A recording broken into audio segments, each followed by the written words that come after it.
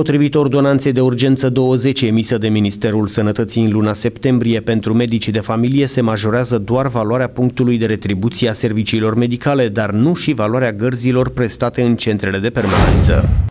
Ordonanța respectivă uh, face referire la faptul că se mărește uh, valoarea punctului la medicina de familie începând cu 1 octombrie. Dar uh, ca de obicei, guvernanții noștri au uitat că medicii de familie fac și gări.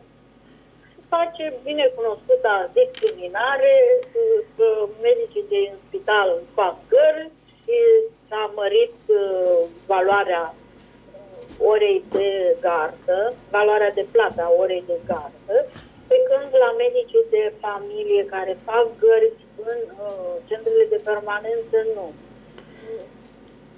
Nu spune nimeni că nu trebuia să mărească valoarea gărzilor, deci plata medicilor care fac gardă sau plata medicilor care lucrează în spital.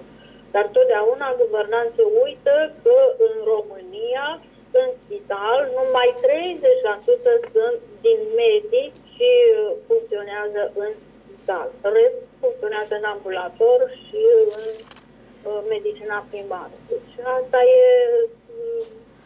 realitatea. Discriminarea făcută de Ministerul Sănătății nemulțumește profund medicii din sistemul privat care au inițiat negocieri prin patronatele medicilor de familie, sperând că factorii de răspundere vor ține seama de necesitatea înlăturării acestor nedreptăți flagrante.